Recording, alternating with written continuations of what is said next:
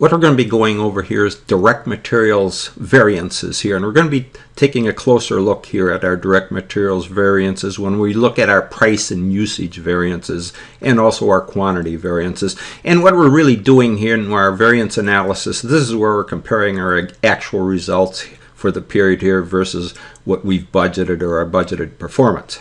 So what we're going to be doing here for our direct materials variance is we're going to be uh, first looking at a static or our master budget that we have here or some standard amount that we plan at the beginning of the period here. And then at the end of the period, we have some actual results. And then uh, taking the actual results at the end of the period, we're going to compare it to some flexible budget that we have. We'll be able to set that up. Okay, so let's first start with our static or our master budget here, or the standard amount that we allow. And uh, we would do that here at the beginning of the period. It's just taking some budgeted quantity times some budgeted price here. In, in this case, we're looking at our direct materials. So we would have established some static or some standard amount here at the beginning of the period. And then at the end of the period, this is where we're going to know our actual quantities and our actual prices here on our direct materials. And that would be our actual results. Okay, so now we know our actual results here at the end of the period. We know our budgeted our static amount here at the beginning of the period. Now is where we set up our flexible budget. And that's simply taking our actual quantities that we purchased here for the period times the uh, from our actual results here times the budgeted price that's coming off our static or our budgeted amount here.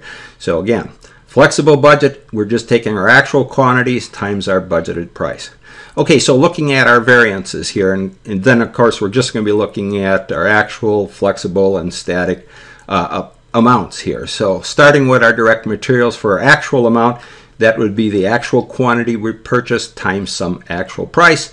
And then the flexible amount uh, was going to be some actual quantity that we purchased times the budgeted price. We're taking the budgeted price from our static amount here and the actual quantity purchased from our actual results for the period. But that's for our price variance or price amount here. And then we'd also have, uh, based on usage here, this is where you're going to take, for your flexible budget, you're going to take some actual quantity that you used here in production times the budgeted price. And then for a static amount, we're just taking the budgeted quantity allowed here. There's some budgeted amount or standard amount that we allow here for the period times the budgeted price. So looking at our price variance, uh, all we're going to do is factor out, looking at the difference between our actual and our flexible budget, we're just going to factor out the common factor here, the actual quantity purchased. And then the difference or the variance would be between the actual price versus the budgeted price. So actual price uh, uh less our budgeted price or that difference times the actual quantity purchased is our price variance. And then for our usage variance, all we're doing here is we're just taking the fact, the common factor is going to be actual quantity used here. So we're going to take our actual quantity used, difference between the actual price here and our budgeted price times the actual quantity used. Okay, so now let's go down here and let's look at our quantity variance. And that's simply the difference between the flexible and our static or our standard amount or our master budget here for the period. So this is just taking what is the common factor here? Well, between our flexible and our static amount, the common factor would be the budgeted price here. So we're just simply taking the difference between the actual quantity used here and our budgeted quantity allowed here. So this is where we're using the actual quantity used here. Okay, so that difference here, actual quantity used, difference between actual quantity used and the budgeted quantity allowed, that difference times the budgeted price is our quantity variance. Okay, so we've determined our variances here. And then the key here is I got AP is the actual price, shown in blue here, dark blue, and BP is in red for the budgeted price. AQP is the actual quantity purchased. AQU is actual quantity used, and BQA here in blue is the budgeted quantity allowed. Okay, so the next thing we want to do is we want to look at our flow here, and what we're this is the key here when we're talking about these direct materials, the price and usage variances. So we're going to, when we purchase this material, it's going to go into some accounts payable here for the amount of material that we purchased here. And then it's going to flow into some materials purchased inventory control account here. And then when we use that material, it's going to flow into the work in process uh, control account here. So again, for our variances, we're going to just have our actual cost is sitting in our accounts payable, and then we our materials purchase is going to go into some control account, and then our work in process is going to go at some budgeted cost in here. So again, just at our looking at our equation or our what we had figured out here initially here. Uh, for our accounts payable, it's just going to be an actual quantity purchase times an actual price, and then the materials, it's going to go into the control account here, be inventoried as the actual quantity purchase times some budgeted price.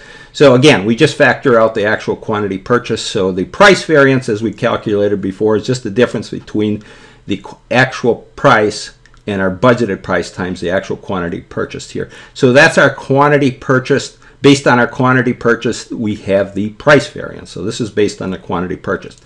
Okay, so now we've got to figure out our quantity used variance here. And that's simply, you got to reach over here and take, it's really the difference between the actual difference, the actual price that you paid on a per unit basis times the budgeted price. That difference times the actual quantity used here. So we got to reach over here.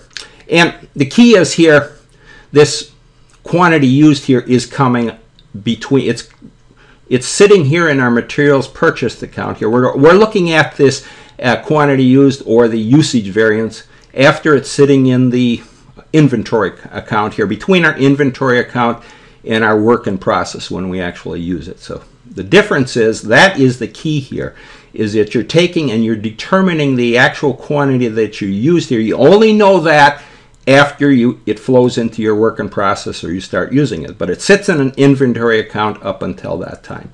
And we're only taking it based on the actual quantity that we used. Now, with the quantity that purchased, we're looking at that variance right away here. We're looking at the actual quantity that we purchased here. Again, based on difference between our actual price and our budgeted price, but we're doing it right away here, and it's all based on the actual quantity that we purchased. So that's really the difference here when we're talking about the price variance based on our quantity purchased. That's done right away as soon as we uh, uh, receive that material here. We determine that price variance, and it's based on the total quantity that we purchased, the actual total quantity we purchased. Whereas our usage variance here, that's that we only know after when we start using that material. It could be quite a time period. Uh, it'd be sitting in inventory here for, for some time. So it, there would be a lapse between when you actually receive it and when you actually use it. And again, when we're talking about the actual usage, that's only the amount that we used. We may have received a greater amount here. Obviously, we could have received a, quite a bit larger amount here. We actually purchased it at, but we actually we would have used a much smaller amount. So that's our usage variance. Just so you understand, it's when we actually use it it's sitting in inventory for a while. Then when we use it, then we calculate our uh, usage variance here based on what we used. Whereas the price variance, that we do as soon as we get that material and we look at the total amount of material that we have for the period.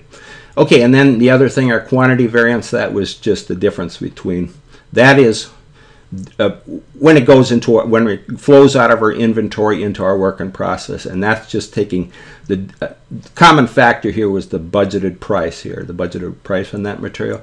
And the difference our quantity was just the difference between the actual quantity used and the budgeted quantity allowed times the budgeted price that's our quantity variance and just to make a key here, a note here, when we go over this, this price variance based on a quantity purchased, the advantages would be based on the quantity purchased. When we talk it, uh, talk about it up here, that was that advantages this when we have the quantity purchased up here, because we uh, note we take the total amount here as soon as we uh, receive that material. Whereas with the usage, we only take it when we use it, and it could be at a much later time here and a different quantity. It would be a much less, we could use a whole lot less of it, actually use a whole lot less than what we purchased.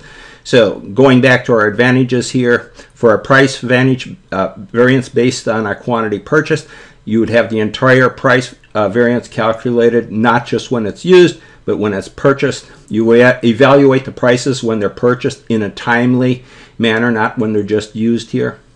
And then what you're doing you're comparing current period purchased versus budgeted amounts here. So when you're talking about the usage here, uh, you may it, it, it would it'd be at a much different time here than when it's purchased. So these are really the key items that you'll be looking at. Okay, so all right, we'll move on from here.